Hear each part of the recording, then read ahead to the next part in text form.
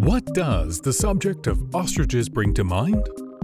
A Japanese professor observed that ostriches can live for as long as 60 years and they rarely fall ill.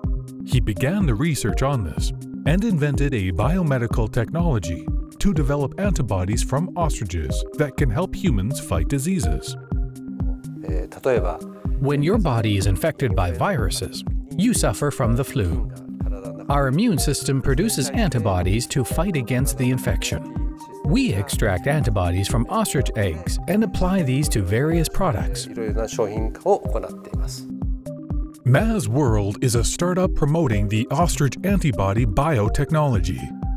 Their products include face masks that can effectively protect against bacteria and viruses, cosmetic products that can regulate the level of bacteria on our skin, and oral care products. To further promote this technology to the international market, Maz World decided to move to Hong Kong and set up its office at the Hong Kong Science Park, with sights on the huge markets in Hong Kong and the Chinese mainland. Influenza is common not just in China but around the world. It is the leading cause of death in the world. We hope to protect people from influenza with the masks we invented. Gene Shigekawa has worked and lived in different cities. He finds Hong Kong an ideal place for entrepreneurs, where there are many investors who are interested in different projects.